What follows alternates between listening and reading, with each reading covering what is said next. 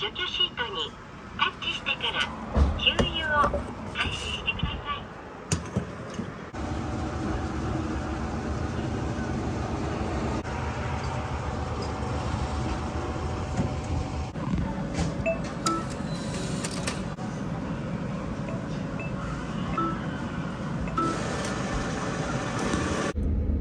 こんにちは。チャンケブログのチャンケでございます。えー、皆さんにね、まあでも、知ってる方は知ってると思うんですけどね。はい、やめました。はい。やめました。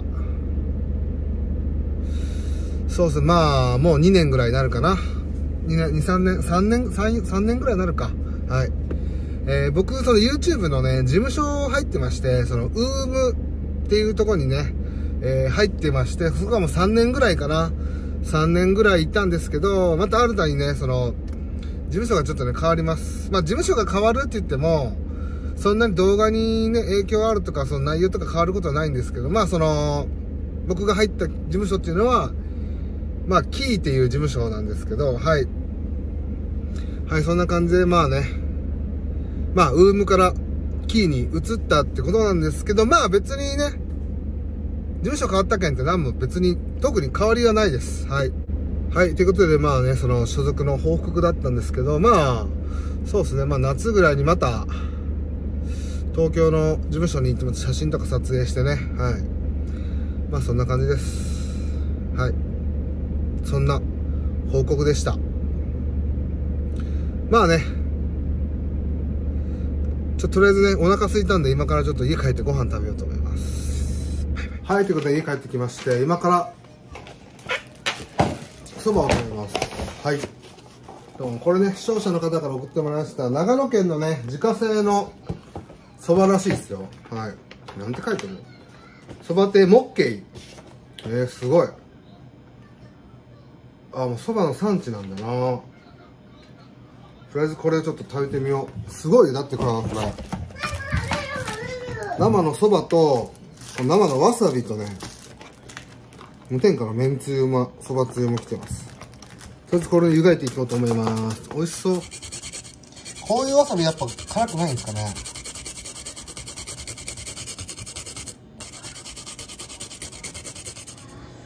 はいじゃあ麺をね入れます。湯がく時は1人前ずつって書いてましたね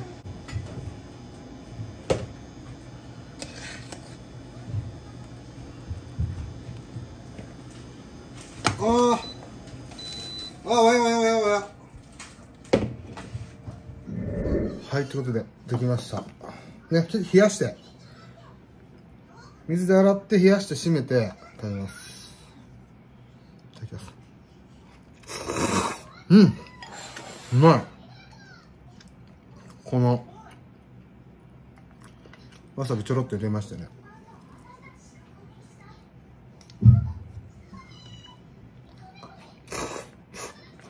うん。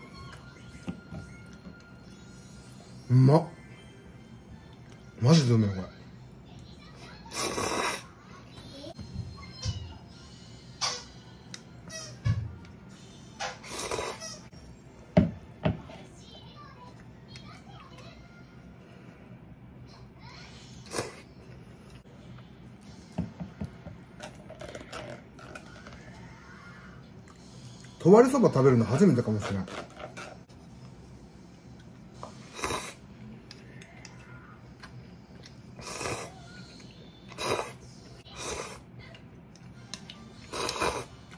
うまっ。えー、ちょっともうちょっとお湯で食べよう。ごちそうさまでした。めっちゃ美味しかった。ねこんな感じでなんか作り方も書いてて。そば亭モッケね。長野県にあるらしいよ。ごちそうさまでした。美味しかった。